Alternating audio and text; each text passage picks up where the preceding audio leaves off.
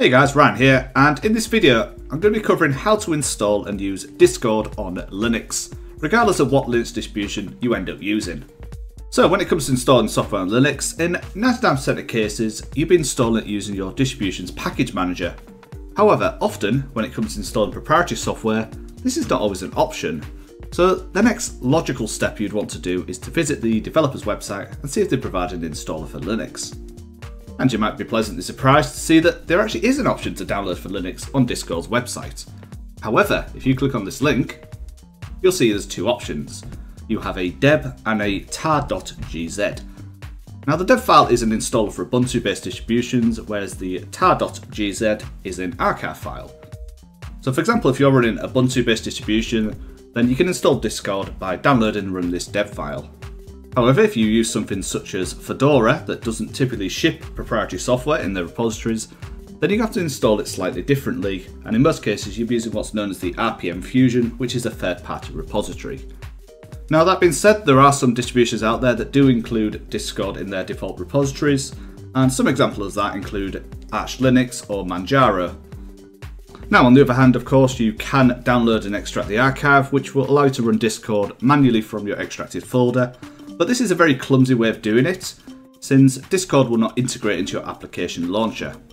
However, there is now a brand new, officially supported method that will allow you to use Discord regardless of your Linux distribution choice.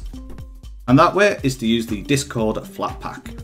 Now this was originally unofficial, however, within the last couple of days, the developers of Discord have now officially supported this installation method and they've verified the Flatpak. However, before we install Discord, we need to first enable Flatpak support for your system, which is dead easy, to be perfectly honest. All you need to do is find the distribution you're using off the list of their website. So for example, I'm using Ubuntu, so I click on the Ubuntu icon, and then really just a matter of following instructions from here. Now I'll just point out that Ubuntu does ship with its own universal packaging format, which is Snap. However, this will not conflict with Flatpak in any way, as both these packaging formats will peacefully coexist. In fact, some Linux distributions have Flatpak support enabled by default, and some examples of that is Pop! OS and Linux Mint. So if you're using one of those, you don't even need to do this step, you can skip it. So now that Flatpak support is enabled, it's time to install Discord. And all we need to do is click on this big blue button here. And what this will do is open up the installer in your distribution's application center. So for example, if you're using Ubuntu or Fedora, we're going to be using GNOME software for that. If you're using Kubuntu or any other distribution that uses KDE Plasma as desktop environment, then more than likely it's going to be KDE Discover. There are other ones out there. For example, if it's uh, Manjaro, you'll be using Pamac, but in most cases it's either going to be GNOME software or KDE Discover. So alternatively, you can install Discord using terminal commands. So the way that you do that is you click on the blue down arrow, and then just copy this command here into the terminal and run it. But in either case, once the installation process is finished, simply launch Discord as you would as any other application. So once you've signed into your account, as you can see, the interface of Discord is identical to what you would typically see if you're using it through a web browser or even run it natively on Windows. All of your text and voice channels are on the left hand side as normal. Uh, instant me messaging works, live streaming works. In fact, the only limitation that I have found is that if you're playing a game, it won't actually show that on your profile. Although very strangely, if you're playing music through Spotify, for example, it does appear. So I'm not quite sure on that one. It's possibly something to do with the way that the Flatpak works.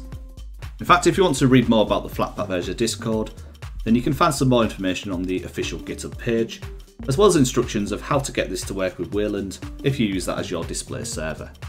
But in either case, with that, you now know how to install and run Discord on almost any Linux distribution. And with that, we're all done. So, in conclusion, now that Discord is available as a Flatpak, then it means that no matter what Linux distribution you decide to go with, you're always going to have access to the latest version. In addition, Discord now being provided as a Flatpak means that you also have further control over how much access the application has to your particular system. But in either case, thank you very much for watching today guys, and if you did find this video helpful, then please don't forget to leave a like, share the video, and if you haven't already please, please subscribe to the channel for more content like this in the future. Thanks again, and I'll catch you again very, very soon. Bye now.